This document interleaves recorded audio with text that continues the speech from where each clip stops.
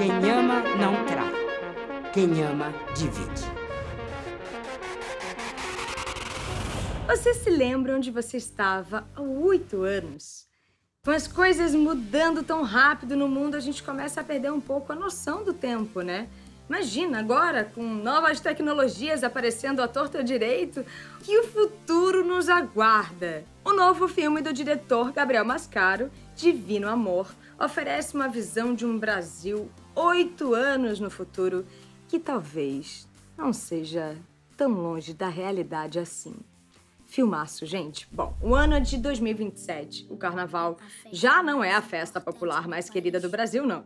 No seu lugar, rola uma rave espiritual na qual fiéis louvam em adoração a chamada festa do amor supremo. As pessoas conversam com pastores evangélicos no drive-thru.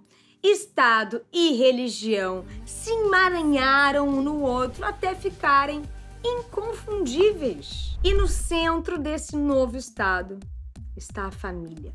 Joana trabalha como escrivã em um cartório local que agora também oferece serviços religiosos. Encarregada de lidar com os divórcios, Joana passa seus dias tentando convencer os casais a repensarem se é isso mesmo que eles querem.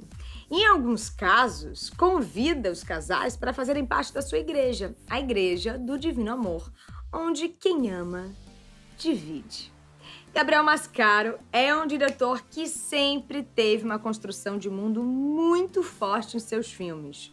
Em seu longa-metragem anterior, Boi Neon, Gabriel costurou o Nordeste do mesmo jeito que o seu personagem principal, Iremar, costura roupas. O filme, que é sobre um vaqueiro itinerante que sonha em ser um estilista de moda, tinha uma visão de um mundo tanto quanto forte, particular, muito devido ao carinho que Mascaro dá aos seus detalhes e cada universo. Mas se o Nordeste do pernambucano Mascaro, por mais imaginativo que seja, tinha uma dosagem grande de realidade, em Divino Amor, a brincadeira toma outras proporções. O futuro aqui é ambíguo, angustiante, opressivo e sugestivo. Uma das diversões do filme é tentar ficar entendendo como exatamente esse país tão próximo do nosso funciona.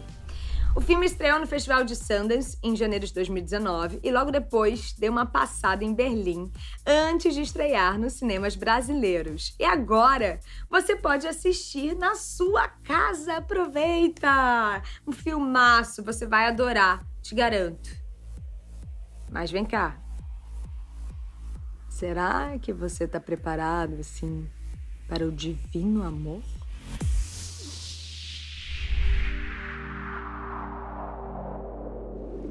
Era 2027.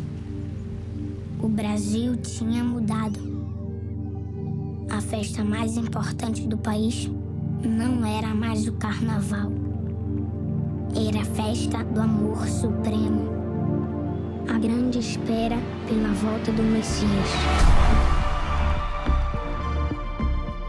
Após cinco anos de casados, é requerido o processo de abertura do divórcio consensual, mas assumindo o compromisso de se reconciliar dentro das normas do Estado brasileiro. Todo casamento se desgasta. Eu e meu marido, a gente passou por tantos momentos difíceis, sabe? A gente conseguiu se superar também. Eu acho que vocês podem. E se você precisar de ajuda, eu tô aqui. Divino Amor é aqui? São os nossos convidados. O amor não é invejoso. Não se porta com indecência. Quem ama não trai. Quem ama divide. Divino Amor. Radical, livre e secreto.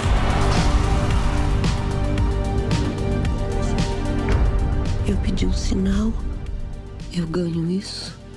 Infertilidade.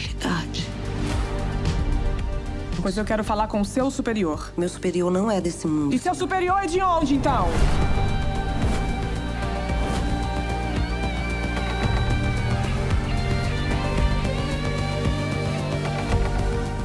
Tem algum recado de Deus nisso tudo que eu não tô conseguindo compreender.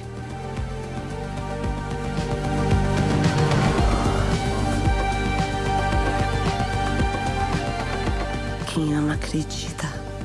E quem acredita tem fé, Danilo. Fé? Será que amar demais é o meu pecado? Quem ama não trai. Quem ama divide.